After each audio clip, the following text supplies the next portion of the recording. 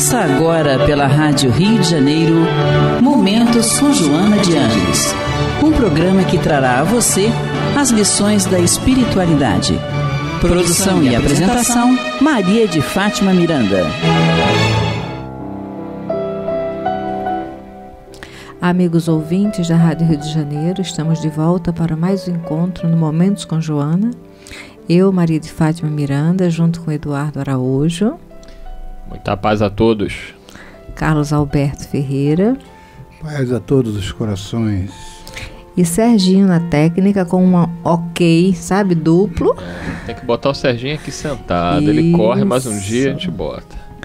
Rogando a Jesus que nos assista, que tenhamos uma semana de paz e que o programa de hoje possa nos auxiliar naquilo que é a nossa necessidade mais imediata Continuaremos ainda no capítulo 2, estudando ódio e suicídio, no livro O Homem Integral, através da mediunidade de Valdo Pereira Franco, com a orientação do espírito Joana de Ângeles, não é? Hoje nós vamos pegar no parágrafo 16, onde ela fala sobre lixo do inconsciente. Eduardo, você quer fazer a leitura? Vamos lá. De Joana de Ângeles. Lixo do inconsciente o ódio extravasa todo o conteúdo de paixões mesquinhas, representativas do primarismo evolutivo e cultural. Algumas escolas na área da psicologia preconizam como terapia a liberação da agressividade, do ódio, dos recalques e castrações, mediante a permissão do vocabulário chulo, das diabrites nas sessões de grupo, das acusações recíprocas pretendendo o enfraquecimento das tensões, ao mesmo tempo, a conquista da autorrealização da segurança pessoal. Sem discutirmos a validade ou não da experiência, o homem é pássaro cativo fadado a grandes voos, ser equipado com recursos superiores que viaja do instinto para a razão, desta para a intuição e, por fim, para sua fatalidade plena, que é a perfeição. Uma psicologia baseada em terapêutica de agressão e libertação de instintos, evitando as pressões que o coarctam aos anseios humanos, certamente atinge os primeiros propósitos, sem erguer o paciente às cumeadas da, da realização interior, da identificação e vivência dos valores de alta monta, que dão cor, objetivo e paz à existência. Assumir a inferioridade, o desmando, a alucinação é extravasá-los, nunca sanar o mal, libertar-se dele por desnecessário. Se não é recomendável para as referidas escolas a repressão, pelos males que proporciona, menos será liberar alguns aos outros agredindo, graças aos falsos direitos que tais pacientes requeiram para si, arremetendo contra os direitos alheios. E aí nós vemos o seguinte, né, que muita esse argumento que Jona coloca aqui, muitas pessoas defendem. E eu como psicólogo, eu concordo com ela quando ela diz que a pessoa somente prender né? Ela vai se contendo, se contendo, se contendo, guardando aquela mágoa, guardando aquela raiva. Em algum momento isso vai explodir. Então, realmente, você ficar guardando isso não é bom, porque isso vai ocasionar em diversos problemas, sejam de transtornos emocionais, sejam até de doenças físicas. É aquela pessoa contida, ela está com ódio mortal, mas ela ela se segura e não não fala nada. Aí há quem defenda que é melhor você extravasar, que é melhor você xingar, que é melhor você bater. Porque pelo menos você tirou aquilo de dentro de você. Em parte é verdade, você tira mesmo. Por outro, você se compromete moralmente, espiritualmente, ainda vai atrair para perto de você companhias espirituais condizentes com essas condutas. E aí vem a terapêutica de Jesus, que é a do perdão, a, a da compreensão, o do não julgar, Aí, ah, mas isso é muito difícil. É. Ninguém disse que seria fácil, né? Jesus fala: no mundo tereis aflições. Mas é, esse argumento né, de que nós temos que extravasar essas emoções através da agressividade, do xingamento, é um argumento de uma pessoa que talvez não conheça a vida espiritual. Agora, um espírita não pode pensar assim. Um cristão não pode pensar assim. Não é isso, Miranda? Pode falar, Carlos. Não, eu estou aqui pensando na raiva. Tá com raiva, Carlos? Se acalma, respira. É porque às vezes é uma coisa muito interessante, a gente tem que fazer umas reflexões sobre isso, né? Porque a raiva ainda é inerente à nossa condição ainda de imperfeição.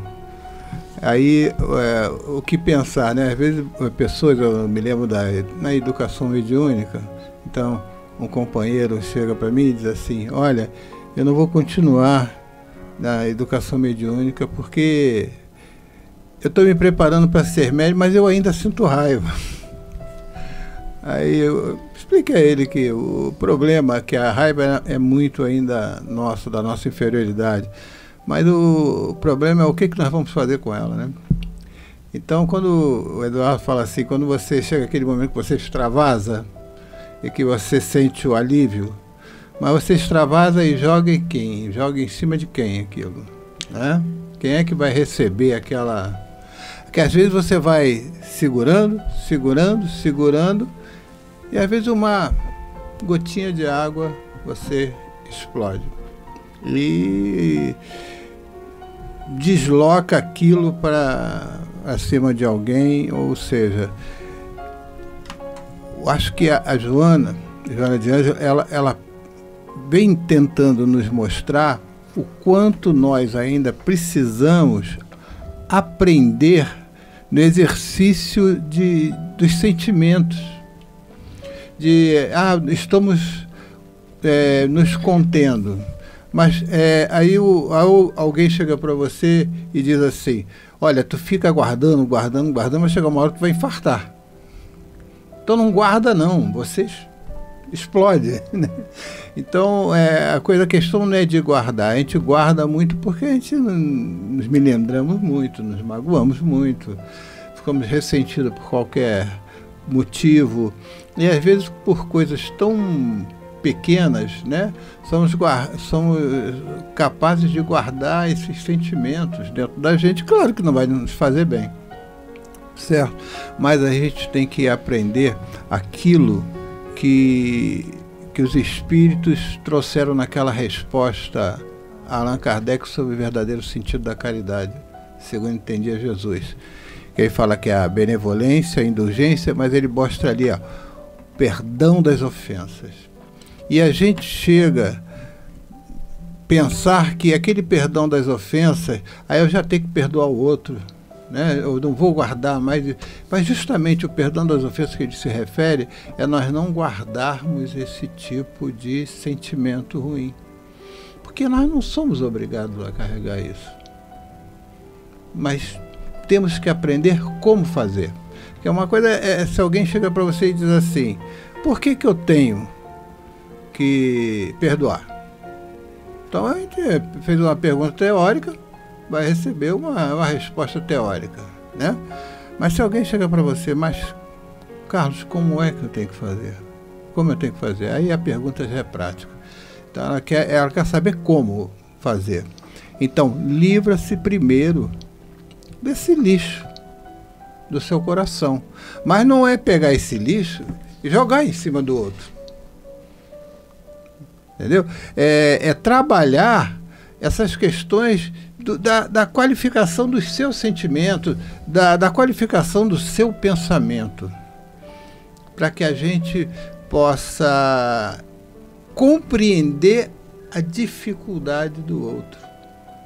Porque a gente fala muito também de sentimento, como, mas se eu não tiver compreensão, eu não consigo nem ter compaixão pela dor do outro. Olha só que coisa interessante, né? A gente lembra lá de Jesus, o samaritano compa compa é, se compadeceu, ou seja, pela compreensão da dor do outro, para ele compreender, ele teve compaixão pelo outro. Hum. Você trouxe uma figura ímpar. Tem um detalhe que às vezes pode nos passar desapercebido no testemunho do samaritano. O samaritano era maltratado. O samaritano era rechaçado pelos judeus. Então, eles, quando atravessavam a região dos judeus, eles eram humilhados. Um judeu passando por um samaritano cuspia de lado. Então, ele sabia a vulnerabilidade daquele que sofre. Ele teve a lucidez de identificar no outro a vulnerabilidade que também era dele. Porque ele, ele era espancado pelo judeu mentalmente, com palavras, com comportamento. Então, na hora que ele viu alguém espancado fisicamente e humilhado também, ele conseguiu identificar-se. Então, quando Jesus pega o samaritano, não foi à toa. É, é porque justamente o samaritano era vítima do judeu. Não é? E ele era vítima do judeu porque ele tinha uma conduta no dia a dia diferenciada do judeu. O judeu era orgulhoso por excelência. E o samaritano, uma, um dos traços da personalidade daqueles espíritos ali da Samaria é que quando os bárbaros invadiam a Samaria, eles interagiam com os bárbaros. E isso incomodava os judeus, e por conta disso eles eram também maltratados. Então, na hora que ele vê o homem caído, ele sente naquele homem a fragilidade que ele também carregava, de ser excluído, maltratado, ferido, humilhado. E é a lição, hoje tão em moda a palavra empatia. Jesus fez isso com o samaritano na parábola, é. não é? Agora, nesse parágrafo que nós lemos, nos lembramos daquela colocação: ah, solte seus bichos, solte suas feras.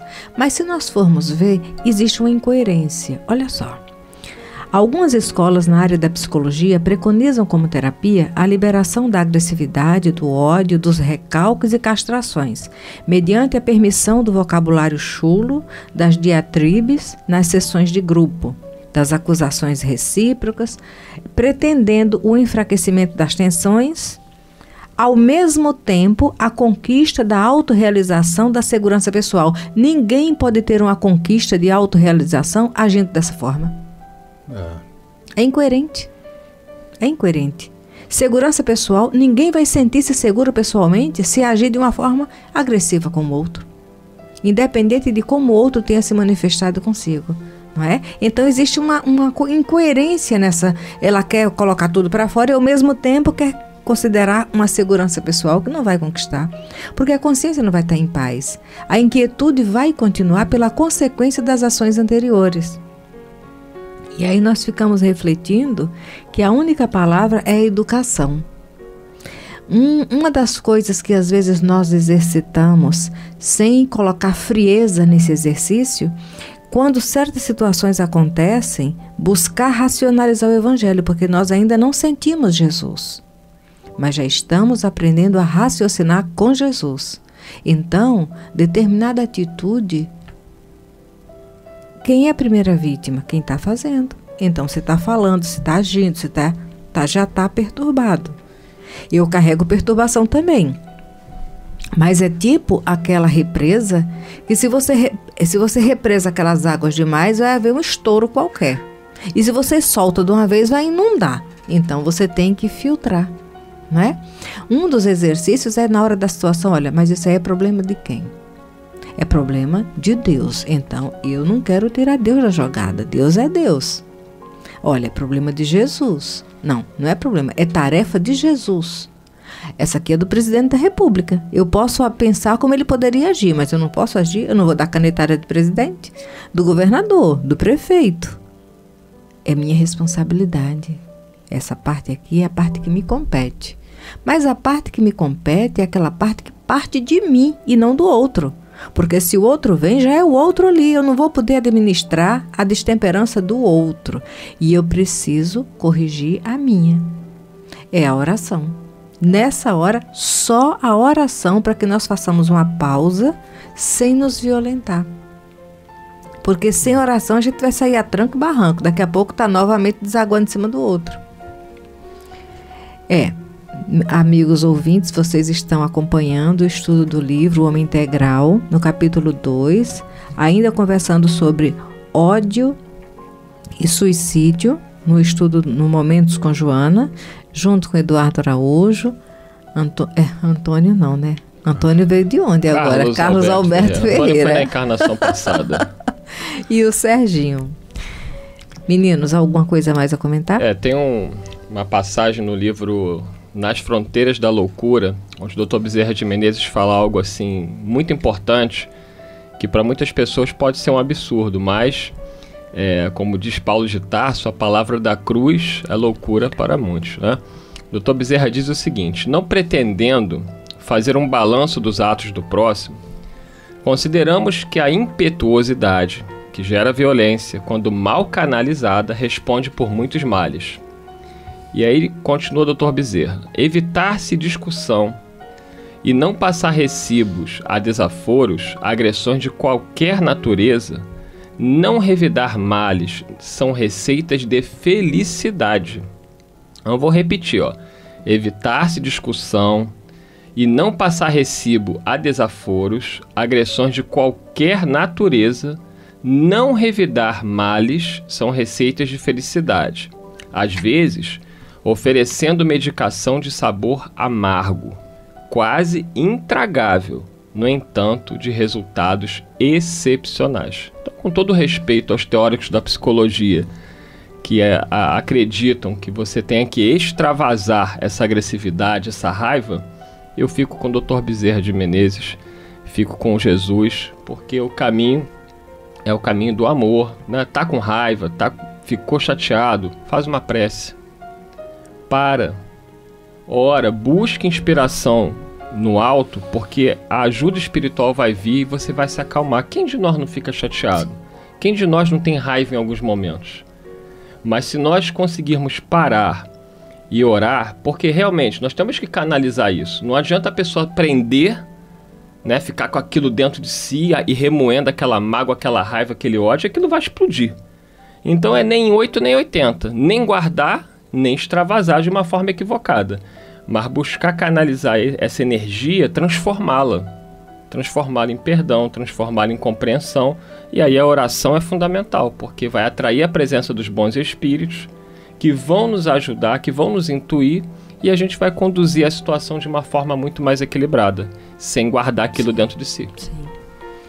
Esse processo de um esforço pessoal né, para se educar. Por isso, todo esse trabalho da Joana, para primeiro nos, faz, nos auxiliar a nos perceber. Temos que nos descobrir, porque pelo fato de não estarmos armados materialmente, nos julgávamos pessoas tão boas, né? Por que isso? Eu sou uma pessoa tão boa, não faço mal a ninguém, mas na realidade nós sabemos que o espírito imortal que nós somos é de uma riqueza aí, sabe? Nós carregamos coisas de valor não, não conhecemos. E esse valor está soterrado por conta de vícios, de condicionamentos perniciosos. Então, ter que se descobrir, buscar se saber, se conhecer, é um trabalho árduo, sem ter a pretensão de fazer tudo nessa encarnação, mas aproveitando bem o dia. Que cada dia seja com a nossa atenção, com o nosso carinho, com a nossa sinceridade, né? E os espíritos nos conhecem. Sabe de onde estamos vindo, como saímos dessas experiências lá de trás e qual a proposta de agora. Mas todo passo nosso com sinceridade no bem, ele vai ser supervalorizado pelos bons espíritos que conhecem as nossas limitações. Verdade. Eu estava aqui a, analisando essa parte que você leu, quando ela fala assim, mediante a permissão do vocábulo chulo. Hoje a gente passa por um momento em que todos nós pedimos a liberdade de expressão. Né? E, e a liberdade de, de, se, é, de se expressar é, da forma que acham conveniente. E esquecem da educação. Entendeu? Então, ontem eu via no, no esporte um companheiro que ele fez lá umas manobras no, no skate, muito, foi muito bom, entendeu? E de repente ele fez um gesto com a mão, que era um gesto tipo um gesto obsceno, né? Vamos dizer assim. Aí a tava a, a, a menina que estava passando a, o programa com outro rapaz que vinha analisando aquele contexto, né? E ela disse assim: Oi, foi, foi muito bom. Ah, mas não precisava, ou seja, fazer aquele gesto. Aí o companheiro diz assim para ela: Não, mas a a plateia entende, ele tá, só está extravasando. Entendeu? Mas ela falou assim, não precisava aquilo. Como quem diz assim, essa forma com que ele se expressou não é uma forma educada. Sim. Entendeu? Embora ele podia estar ali querendo né, botar aquela energia para fora, coisa e tal, mas ele poderia ter feito aquilo com mais educação. Entendeu? Aí, o, o aí aquelas coisas, meu filho, mas, pai, será que isso seria tão chocante? Eu falei assim, não é que hoje talvez não nos choque muito, mas acontece que nós estamos aprendendo a nos educar. Então, às vezes a gente confunde essa nossa liberdade com, de expressão e a gente acumula o outro de lixo. Uhum. Então a gente tem que tomar cuidado com isso. Então, é, eu perguntei ele, você faria isso? Ele, não, eu não faria isso. Por que, que você não faria isso? Porque você foi educado a não fazê-lo. Entendeu? Você teve uma educação do qual você. Mas se o outro acha que ele pode fazer, então você hoje assiste uma programação na televisão em que a linguagem chula está aqui, ó. Está à vontade. É permitido. Entendeu? Então nós precisamos tomar cuidado com isso, porque temos que tomar cuidado com a palavra, com o que a gente direciona para o outro. A gente tem que buscar a educar o espírito. Né? Porque se eu não é, me educar, se eu não começar a viver aquilo, eu gosto muito do, do Gandhi quando ele diz assim: seja você a mudança que você quer no mundo, mas seja você primeiro, que ela venha de você. Né? Então, que ela venha de mim, que ela comece por mim. Entendeu? Porque todo excesso é desnecessário não é? É desnecessário. E nós sabemos que é, usufruir da nossa liberdade, respeitando o outro, só no processo educativo, porque por, por frearmos demais essa castração, porque não é o outro que nos castra, não, somos nós. O outro é instrumento para que aquilo se é manifeste, aquilo, não é? Porque a educação, o outro colabora com a nossa educação, mas quem educa é o espírito mesmo. É verdade. Não, é? não podemos dispensar a participação do outro no processo educativo, mas eu, ninguém educa ninguém. Jesus, Jesus, ele é mestre. Por quê? Porque ele respeita e conhece o limite de cada um de nós e não nos violenta. Mas o trabalho é interno. Ele não pode vestir a educação dele em nós. Ele pode nos orientar. E quando isso não acontece, gera libertinagem. Ah, mas aí temos que ter liberdade de expressão, mas a minha liberdade termina na hora que o direito do outro começa. E ninguém é obrigado, não é, a receber, como você bem colocou, o nosso lixo. Por isso a necessidade de reciclar. Porque nem extravasar, nem castrar, mas reciclar. reciclar. Porque a reciclagem é parte da educação. Com certeza. No capítulo 10 do Evangelho segundo o Espiritismo, no item 7, tem uma, uma citação de Jesus que está em Mateus, capítulo 5, versículos 23 e 24. Jesus fala o seguinte: Se, portanto, quando fordes depor a vossa oferenda no altar, vos lembrardes de que o vosso irmão tem qualquer coisa contra vós, deixai a vossa dádiva junto ao altar e ide antes reconciliar-vos com o vosso irmão depois então voltai a oferecê-la. E aí Kardec comenta: Quando diz ide reconciliar-vos com vosso irmão, antes de depordes a oferenda no altar, Jesus ensina que o sacrifício mais agradável ao Senhor é que o homem faça do seu próprio ressentimento, né, que antes de se apresentar para ser por ele perdoado, precisa o homem haver perdoado e reparado o agravo que tinha feito a algum de seus irmãos. Só então sua oferenda será bem aceita, porque virá de um coração expungido de todo e qualquer pensamento mal. Mais uma vez, corroborando o que Joana diz, né, Kardec coloca que você extravasar esse sentimento de raiva, de ressentimento, de mágoa, para poder se aliviar internamente, é totalmente contrário àquilo que se espera, repito, Sim. de um espírita, de um cristão. Sim. Não é educativo. Ao contrário. E as consequências que é, vão advir disso são muito mais danosas do que se a pessoa não revidasse o mal com o mal, porque ele vai atrair para perto de si espíritos da mesma faixa vibratória. A presença, a simples presença desses espíritos pode provocar é, problemas muito mais graves do que ele poderia imaginar. Então, o caminho é o perdão. E o exemplo também que fica bem a desejar. Então, chegamos ao final. Que Jesus nos conduza. Uma boa semana. Obrigada a todos. A Rádio Rio de Janeiro apresentou Momentos com Joana de Ângeles um encontro com as lições da espiritualidade. Produção e apresentação: Maria de Fátima Miranda.